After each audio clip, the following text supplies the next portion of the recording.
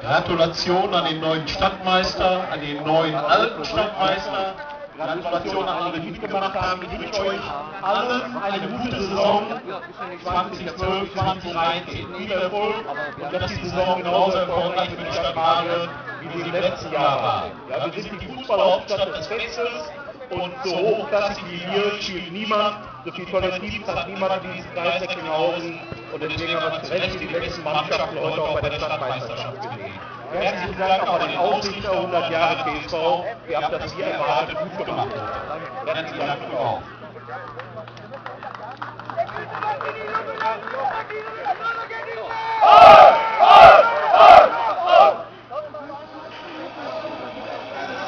Können wir gehen?